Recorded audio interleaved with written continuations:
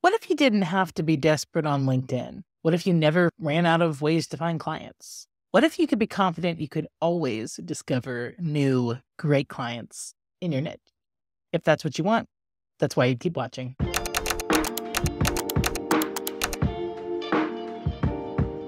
Hello, this is Sarah, and on my mind today is how to find clients. Because for the life of me, this is what everybody has the biggest trouble with. We pull up the internet, we head to Google, and you can't just write clients, right? That's not going to take you anywhere, which would actually be really funny if I hit enter to see what's up. But what I want to do in this really short video is share my superpower with you. And my superpower since I started freelancing has been the ability to find these random, surprising, no name companies that need help with B2B marketing writing. And so I want to share that with you today. There are three techniques that I think can really serve anybody because they're so flexible for who you are, what kind of writing you want to do, and what kind of companies you want to work for.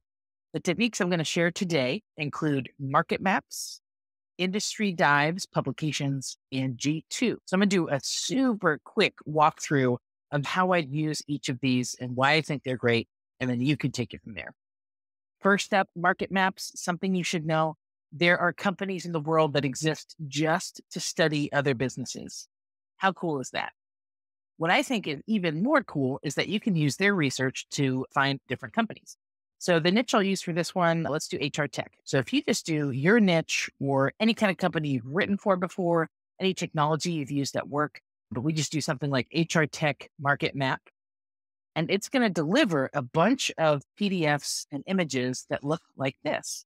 And what they do is organize dozens and dozens of companies in each of these spaces according to different niches. So you can look at their logo, like right here, Pymetrics, Harvard, HireArt, Scoutable.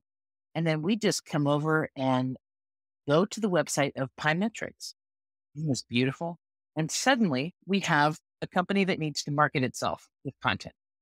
We can scan, do they have some resources?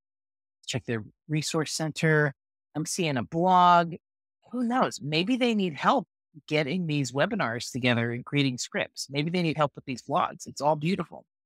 So this looks like a viable company if I'm in the HR tech space. So I'm going to go to LinkedIn and I'm going to go to their company page. And notice how quickly I decided if they could be a fit or not. It was really just a quick assessment. But I can come over and check out everybody works there and find some people maybe in client success manager, connect with them. Anyone who looks like they might be in marketing or sales or in the decision making area Director of People Science could be a good fit if I'm not seeing anything too great.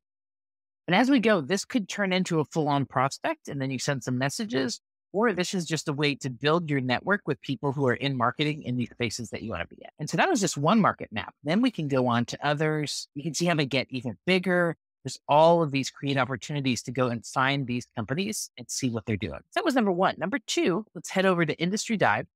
Industry Dive is a publication that that sends content to business leaders. They have publications broke up into 15 to 20 different areas. And so you can see there's cybersecurity dive, there's facilities dive, food dive. These are all B2B organizations. And so identify the publication that best fits what you like to do. So let's say manufacturing dive, just to spice it up. So number one, we're going to sign up for the email newsletter because then they're going to send news to you so you can stay informed in your niche. And then two, we're going to head to this menu at the top that says library. Because when you first land on the page, this is all news content that may be interesting and may be relevant for you, but it's not really going to help you prospect. We're actually going to dig into the library because this is where companies go to advertise their services with content. And so we can find these names like right here, custom content for RSM, West Monroe Partners, SEDEX, Snowflakes, and go through that whole process again. So where do I find Sickage?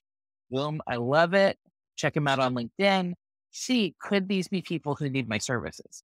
And then when we introduce ourselves, we could say, Hey, I saw your webinar on Industry Dive. I noticed it was there. I would love to reach out. Sometimes I write in your space. But boom, this is a great discovery engine for different companies that are going to be in your space that you never would have guessed. Sovos, Prologis, it's wonderful. And again, these publications exist for anything from education to payments to e-commerce to restaurants to retail. It's it's all over the place. This is a wonderful resource. And then finally, we have G2, and this is a review site for B2B software. And what you can do, there's so many different ways you can use it if we really wanted to dig in. But what I'd recommend to start with is you can go to the software section and then look up anything that might be relevant to your niche. Let's say IT infrastructure, HR, marketing, all of these different areas. And it's going to populate all of these different types of software that might be relevant. So e merchandising, payment gateways, review management, go with payment gateways. And then suddenly we have this list of payment gateways. All of these represent businesses that, again, need marketing of some kind.